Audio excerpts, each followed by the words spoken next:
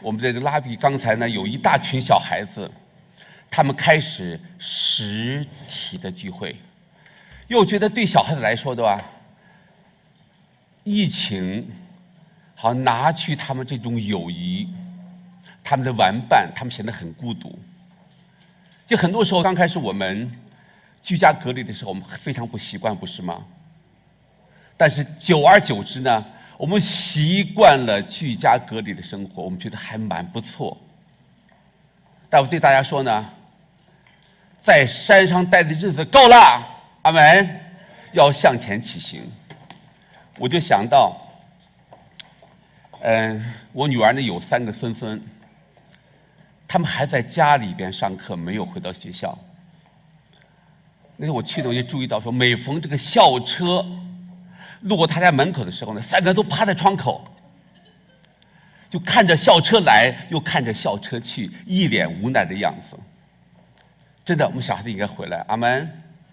好，那今天呢，我们要接续《希伯来书》信息第三讲，题目是“长大成人”。我们一起来读。论到麦基喜德。我们有好些话，并且难以解明，因为你们听不进去。看你们学习的功夫，本该做师傅，谁知还得有人将圣言小学的开端另教导你们，并且成了那必须吃奶不能吃干粮的人。凡只能吃奶，都不熟练仁义的道理，因为他们是婴孩；唯独长大成人的，才能吃干粮。他们的心窍习练的通达，就能分辨好歹了。我们以前讲过，希伯来书的这些读者，他们大部分是犹太的基督徒。在公元七十年之前，大概有五年的时间里边，罗马帝这个帝国当中，特别一些大城市。遭受了非常大的逼迫，逼迫谁呢？就逼迫基督徒。注意啊，当时的犹太教是被认认可的。换句话说，犹太教是合法的宗教，基督教呢是非法的信仰。这逼迫呢，刚开始很轻，后来呢逐渐加重，从掠夺财产。到砍人杀头，这个时候呢，就一些基督徒面对逼迫，面对环境呢，他们就撑不住了。怎么办呢？要走回头路。换句话说呢，这个主我不要信了，还是保命要紧。我问大家，为什么犹太的这些基督徒他们要走回头路呢？是因为环境吗？是因为逼迫吗？是因为刀剑吗？是因为饥饿吗？那都不是。因为我们看到圣经里边多少基督徒面对杀戮坦然无惧，所以真正让这些信徒想打包回府、走回头路的呢，是因为他们的生命不够成熟。换句话说。他们的抗压力还没有达到那个炉火纯青的地步，他们他们就要就走回头路了。这刚才读的圣经就告诉我们说，因为他们呢还是吃奶的婴孩。我问大家，通常喝母亲的这个母乳喝到多久就应该断奶了？一岁多是不是？一岁半。上个月我去我女儿家，我那个第三个小孙孙呢，今年是三岁都过了，还在喝妈妈的母乳。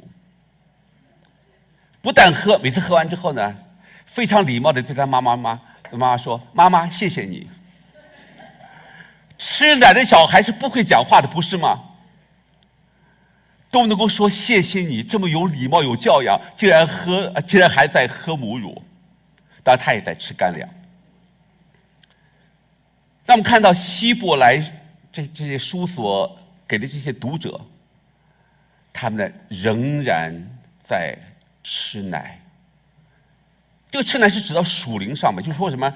他们学一些初阶的道理，他们看一些容易懂的经文，他们对那些圣经的真理、整本的圣经一些属灵那些问题呢，他们不愿意思，也不愿意想，也不愿意学，他们满足于现状，所以他们是营养不良的一群，这难怪面对。逼迫的时候，就问题百出。其实，希伯来书所写的那个历史的阶段呢，正跟今天我们一样。请问，为什么今天我们看到好多人离经叛道？为什么很多异端兴起？就是因为教会里边太多婴孩。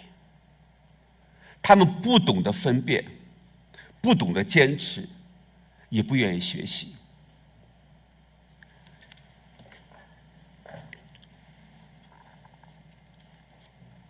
有人呢有一个问卷的调查，得出一个令人震惊的数字。那我相信呢，他这个背景调查呢是应该是在这个中部的白人教会里边。我看了之后呢，要根据我牧会二十多年的这个经验和感受呢，我稍微做点微调。但你看了这个数字统计之后呢，你会非常的震惊。你会觉得今天若我们不兴起、不长大，教会没有盼望。我们看下面的数字：百分之十的人。信了主了，却从不去教会。百分之二十的人呢，从来不祷告，包括谢饭祷告，拿起就吃，不要说别的祷告，连谢饭祷告都省略了。百分之三十的人呢，从不读经，那本圣经呢？几十年如一日，崭新崭新的，从来没有翻过。但是看武侠小说、看韩剧，可以通宵达旦。百分之四十人呢，从来不参加服饰。百分之五十人呢，从来不奉献。我辛劳。挣钱，我为什么要白白给你呢？因为他不懂得一个奉献的道理。百分之六十人呢，从来不参加主义学，这个也基本符合我们教会目前的光景。百分之七十人呢，从来不参加祷告会，他不了解一个会众的祷告。一个群体的祷告带来极大的能力，对我们的生命，对我们前面的困难，有一个非常大的一个突破力。他不明白，百分之八十的人呢，从来未举行过家庭礼拜，知道吧？初代教会里边，信徒早晨在在店里边敬拜赞美。分享主的话，晚上呢在家里聚会，分享主的恩典。我记得九一一的时候，有一个机构呢给我送了一本挂历，这挂历呢，它就讲到一六二零年那个 Mayflower 那个五月花号的信徒到了之后，他们有一套信仰生活的原则。其实有一幅画呢，就在一个。很简陋的房间里边，在壁炉的前边摆了一个长桌，那父亲居中坐在中间，然后呢，儿女妻子坐在旁边，然后呢，这边是刀叉、杯盘，然后呢，他拿了一本圣经，什么意思呢？就说他们在家庭聚会的时候呢，不只是吃喝，而是分享主的话。但我们呢？很多家庭呢很少有这种家庭礼拜一礼拜，偶尔呢有一两回，为什么呢？要针对先生，要针对太太，针对孩子。那经文一读出来呢，就有非常明显的指向性。请问这种家庭礼拜能长久吗？那不会的。那还有呢？百分之九十的人，从未为主得赢得一个灵魂。传福音呢，永远是极少数人的专利。你不觉得很难过吗？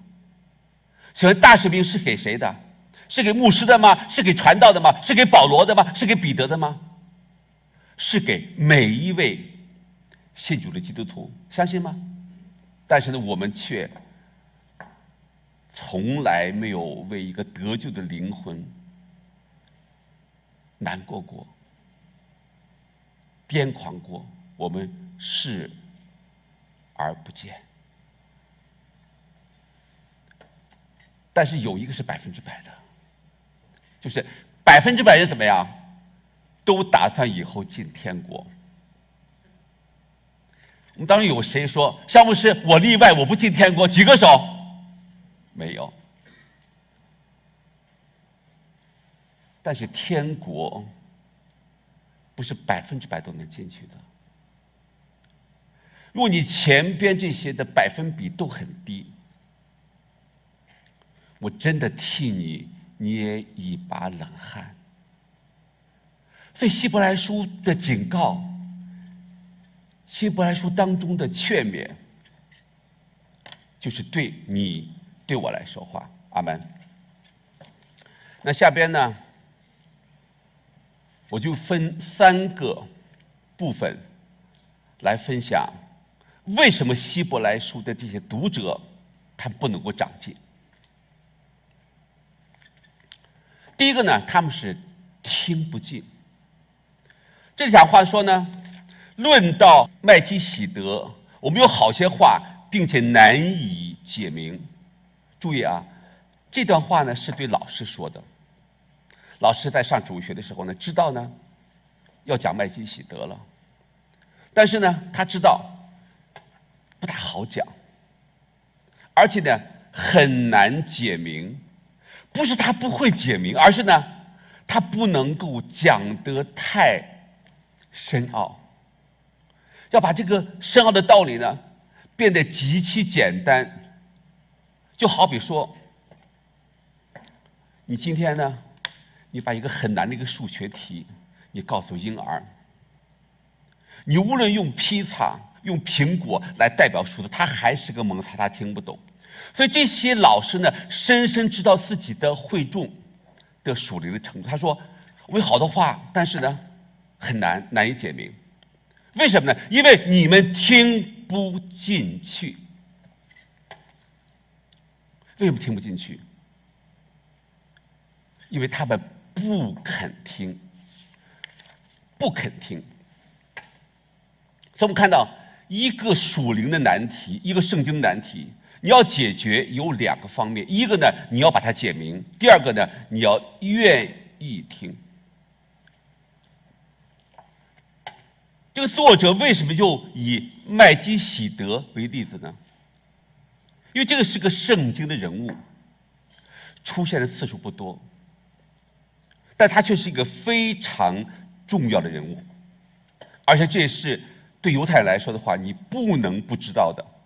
我相信，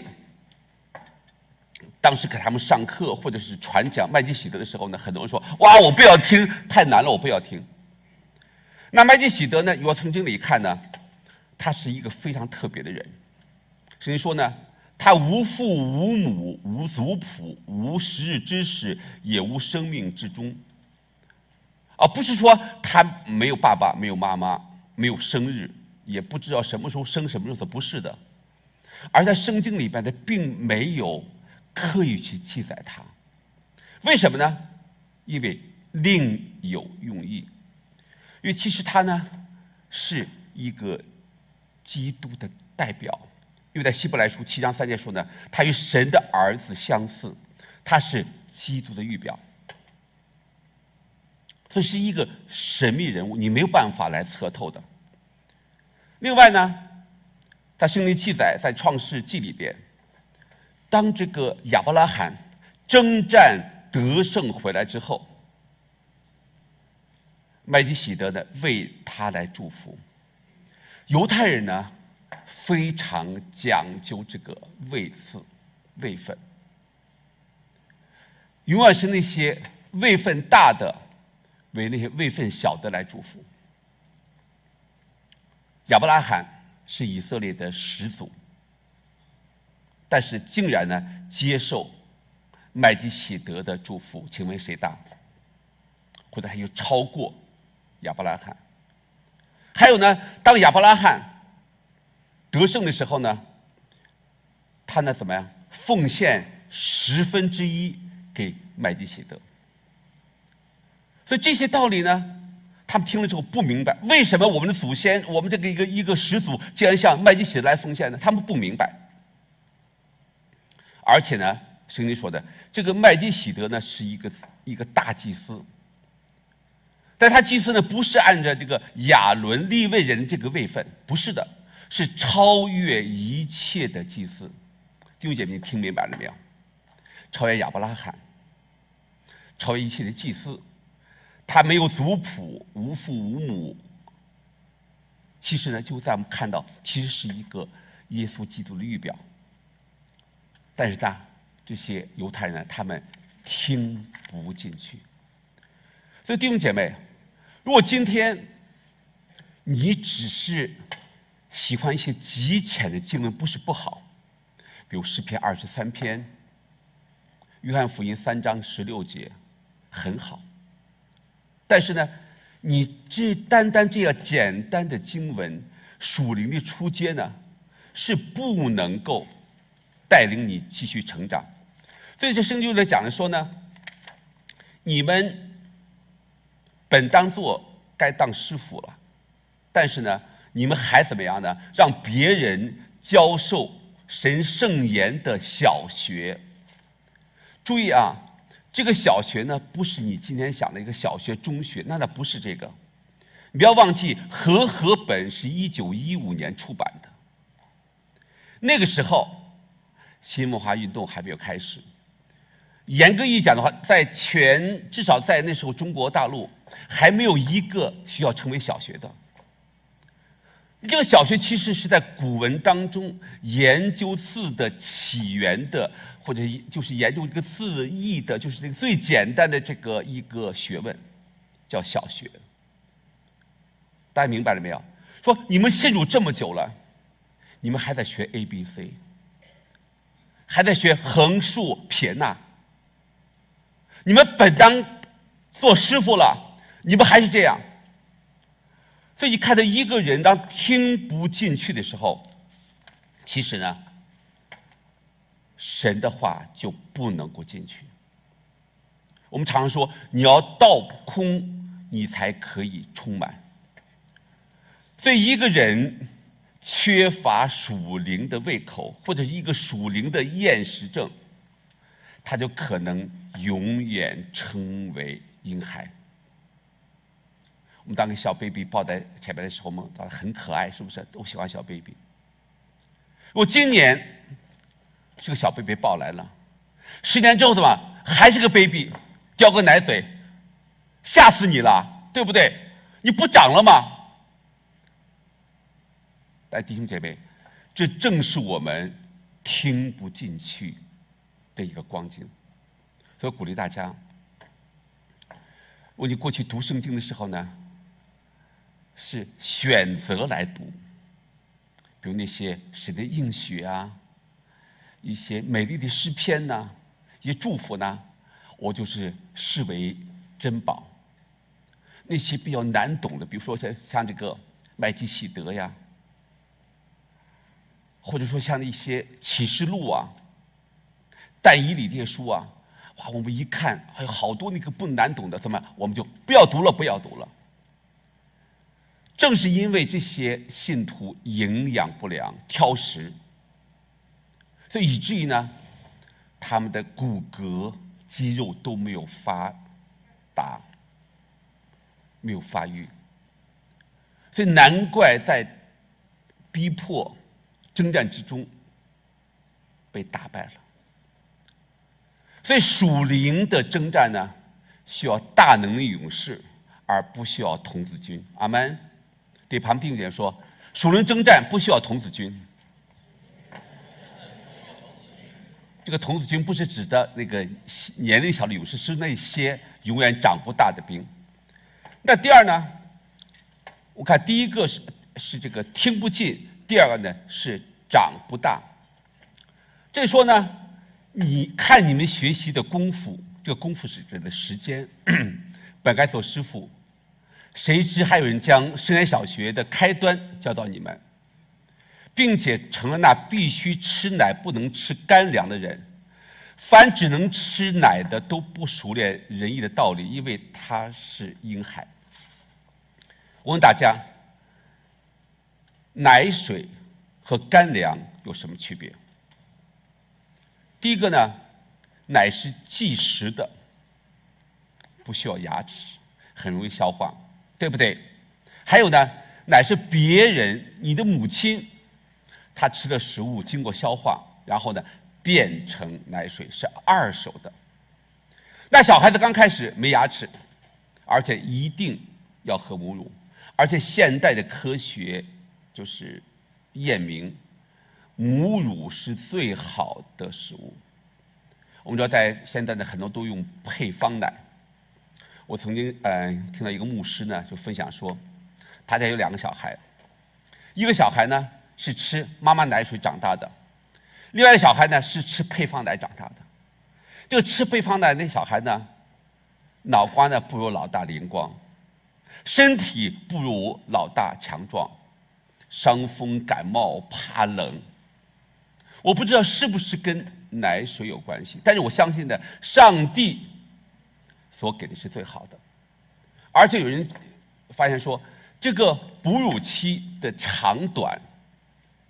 比如从刚出生到一岁到一岁半，这个母乳的成分都在改变，因为在每一个婴儿发育过程当中呢，营养不需要，营养都不一样，所以神就让母亲不知不觉当中把这些营养均衡的给孩子，多奇妙！但是孩子长了满口的牙。却仍然单单喝奶，不是我那小孙，我小孙孙别的也吃，也喝奶，单单喝奶，他能长大吗？那请问是干什么是干粮？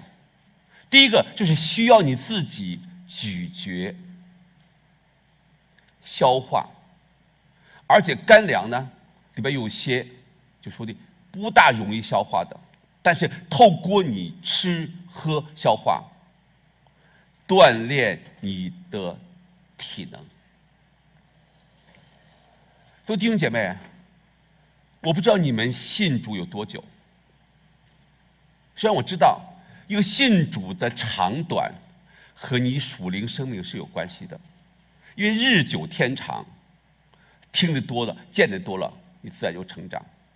但是你属灵生命的长短和你信主呢也没有关系。我在教会里也看到很多属灵的巨婴，大家知道吗？信主二十年、三十年、五十年，但是连最起码的一个属灵道理都不懂。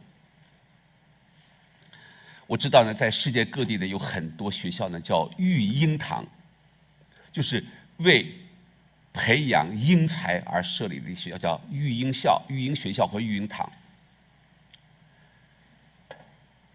有一个育婴学校，后来这个教学品质很差，然后学生呢，虽然在很好的这个学习这个条件里边，但是呢，进步呢却是非常的微小，而且他们学校里边自主能力非常差，所以有人呢就给他的学校呢改了个名字，你知道改什么吗？也是育英学校。但是“英”不是英才的“英”，是什么呢？婴孩的“婴”。育婴学校。我看了这个以后，我就很感触。我说，现在我们是纽约丰收灵粮堂，名字好不好？但有一天说纽约丰收育婴堂，是婴孩的婴，那牧师该走人了。所以弟兄姐妹，要长大，真的要长大。长大呢，就代表我们生命开始来成长。怎样长大呢？你要系统的读经，不要挑来挑去。换句话说，圣经六十六卷书就是六十六种不同的营养成分，有钙。有铁，有钠，有磷啊！你不要去买什么营养品了，通通在里边。你只要认真去读、去领受，你生命就开始改变。第三呢，就是行不出。所以，一个他听不进去的人，一个长不大的人，他呢没有办法承受使命。所以这里说，唯独长大成人才能吃干粮，他的心窍习练的通达，就能分辨好歹了。这里的习练的通达，就是去做、去努力、去实践，但是呢，却做不出来。弟兄姐妹，很多我们看到一些弟兄姐妹，他们很想在教会里边去服侍。也很愿意去服侍，可是当服侍的时候，你发现不是效果不佳，就是很容易产生问题。我问你，什么叫属灵人？我们以为属灵人就是要穿的那很属灵，比如说小牧师穿一个西装，我戴一个像那个主耶稣的宝血一样的一个领带。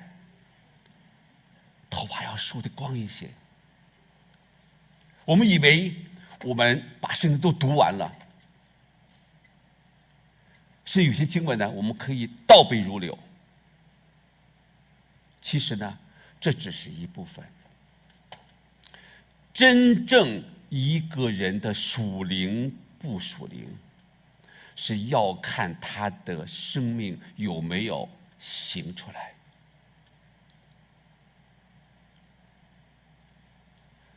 那你说，哎，那你说项目师啊，那属灵这个知识不重要了？那不是。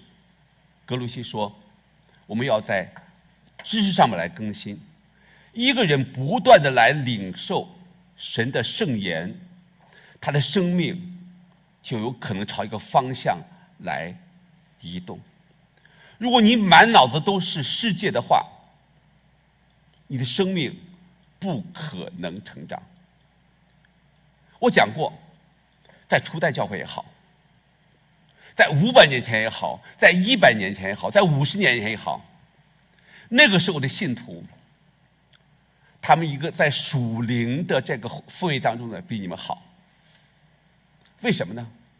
因为那个时候没有太多的资讯吸引你的眼球，所以人容易集中来读。圣经来做礼拜。今天不同了，我们看到电视、媒体、手机、iPad，这所有东西呢，都不断向你来传送这些资讯。小姆是从来不说媒体不好，因为这是一个载体，你要善用它。但今天我们看到。今天这个社会的媒体里边，请问有多少是传扬基督的？没有。本来教会基督徒是掌握文化利器的，但特别是文艺复兴以来，我们看到这文化的世俗化、绘画、音乐、舞蹈、美术都开始朝世俗化发展的时候呢，教会说。这地方都被你们占去了，我不要了，让给你们好了。当时可能在赌气，但现在一看怎么样？完了，都被占领了。所以今天呢，我们各种资讯不断的来搅扰我们。我记得我常常讲的，在中国文革当中有个对联，那风声、雨声、读书声，声声入耳；家事、国事、天下事，事事关心。我们要改一改，好不好？啊，是什么？风声、雨声、读经声。阿门，声声入耳。然后呢，家事国事，什么？天国事，事事关心。阿门，这才是我们基督徒，不是吗？所以你当你有这样一个胸怀的时候，怎么样，就可以来行出来。所以我说，一个行不出的基督徒呢，你生命是有问题的。那你说？你能够找出一些行不出的一些特征来吗？第一个呢，就是容易生气。哎，你说那是脾气？那那那那，性格的背后，掌管性格的是生命。比如常常容易生气，动不动就生气了，很难和人合作。还有一个呢？非常自私，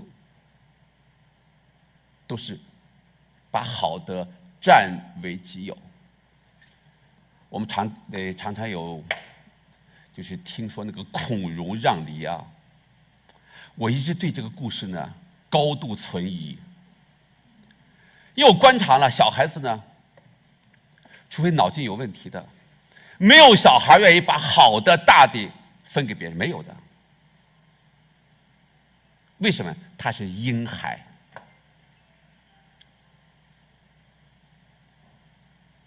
这是人的罪性。还有呢，不顺服、不守纪律。你要管小孩，你知道，小孩非常难管的。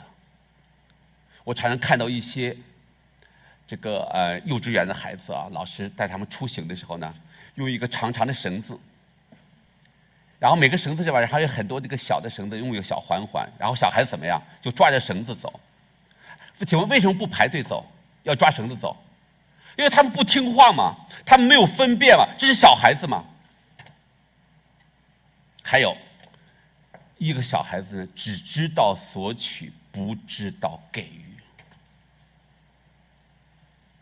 特别我们看到，我们很多爸爸妈妈养育小孩。他们都是要，要玩具，要糖果，他不懂得分辨，所以是要糖要吃糖不吃药，这是小孩子的通病。但当有一天呢，他会长大，他才懂得学习回报。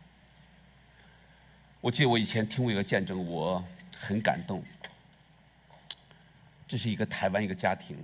在台湾的时候呢，她是这个妈妈是个寡妇，先生很早就过世，就养育几个小孩，很辛苦，就在不同的家里边呢帮忙洗衣服。你知道这个年代比较早，还没有洗衣机，缝补浆洗就洗衣服，就是维持家里一个最低的一个生活的这样一个水准。孩子长大了。女儿找了份工作，他妈妈非常高兴，终于可以帮补家用了。那天早晨，他妈妈起床的时候，穿鞋的时候发现那个鞋底里边好像有个什么东西，他拿着一看，原来呢是一沓钱。上面写的说：“谢谢妈妈，这是我第一个月的薪水。”他妈妈拿着这个鞋，拿着钱，眼泪就流下来。请问是因为钱吗？不是，孩子长大了，知道吗？他懂得回报了。所以弟兄姐妹，在你生命成长的过程当中，如果你只是来承接、来享受、领受，你是婴孩长不大的。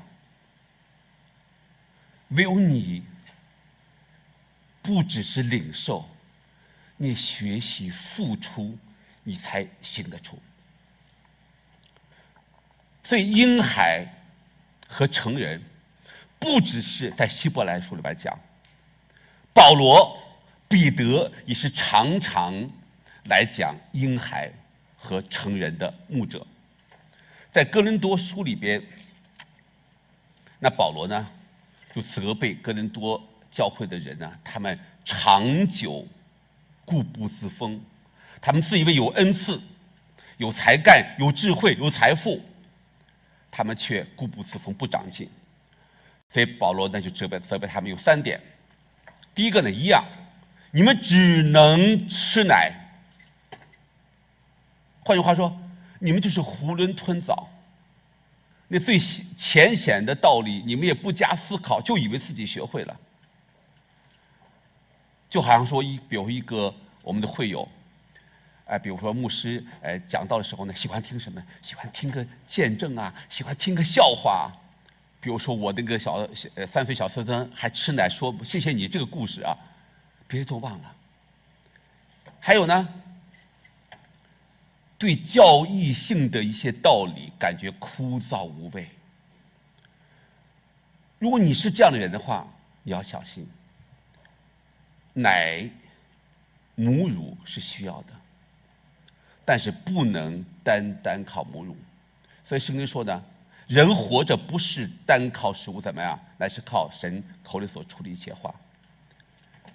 第二呢，他们彼此纷争，这是保罗责备更多教会的，因为当一个人他生命不成长的时候呢，他就把一些世界上的一些价值观，世界上的一些。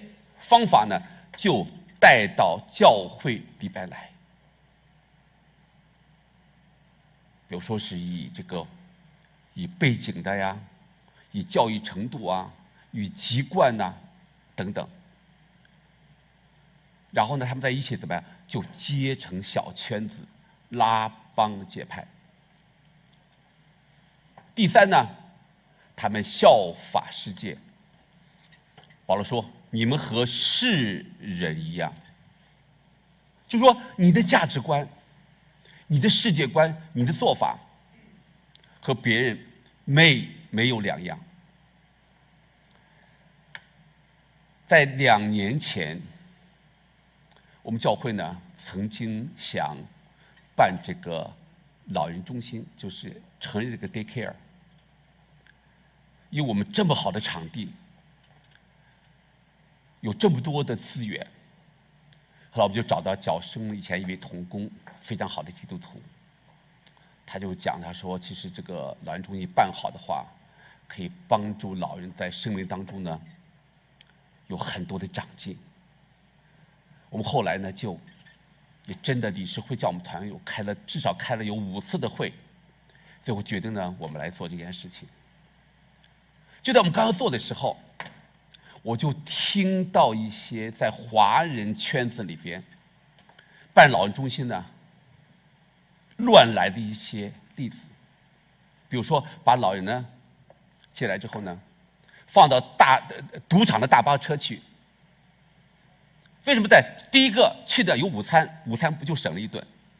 然后去了以后还有还有尼玛，这老人家都不赌，拿了钱之后呢，就打折扣换成钱装到口袋里边来。然后呢，为了这个笼络这些老人家呢，给他们私下给钱，还有呢，让他们打麻将赢点小钱。我说不干了，我不干了，所以我们就呢停止了，一停就是一两年。但最近呢，我又遇到我们教会有一位弟兄姐妹的女儿女婿。在偶然间讲的说，项目是你们为这么好的，为什么不做这个？我说，哎呀，因为这个太乱了。他不是的，是可以好好做的。他说，你也可以很正规来做。这句话呢，就深深的打动我。我对呀，为什么我们教会不另外走一条道路呢？在疫情当中，我至少为十位年长者举行洗礼，